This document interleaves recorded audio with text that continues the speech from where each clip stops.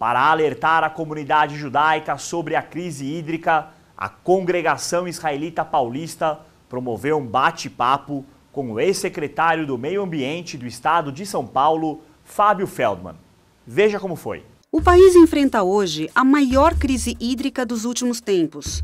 Uma das causas é a falta de chuva, principalmente nos reservatórios de abastecimento. Seus efeitos vão desde a falta de água nas residências até o risco de apagão. A região sudeste é a mais afetada.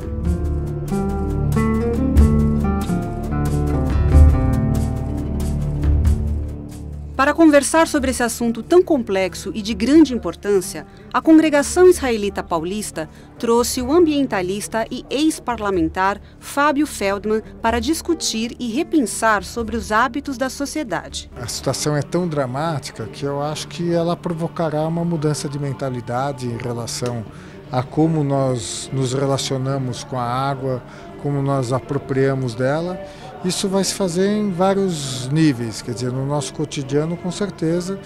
É só imaginar que eventualmente nós vamos ficar três dias ou quatro dias sem água e outros dias com.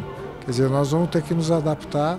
E eu acho que mais do que não poder desperdiçar água, eu acho que a gente não pode desperdiçar a crise de água para repensar a maneira como nós nos relacionamos com esse recurso tão importante. A CIP acredita que todos os assuntos importantes para a sociedade brasileira, para a sociedade paulistana, é também importante para nós. Então, se a crise hídrica é um assunto que está sendo discutido hoje na sociedade em que nós vivemos, então nós, judeus brasileiros da CIP, temos a obrigação também de participar desse debate.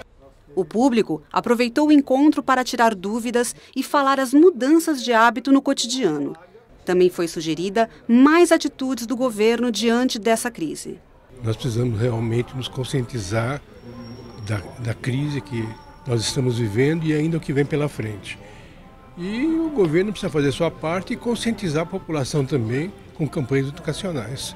Eu acho que é importante a gente conhecer um pouquinho o que o governo tem feito e quais são as perspectivas que a gente pode ter de agora ao longo de 2015 e 2016 referente à crise que São Paulo e o Brasil estão enfrentando em relação à parte hídrica.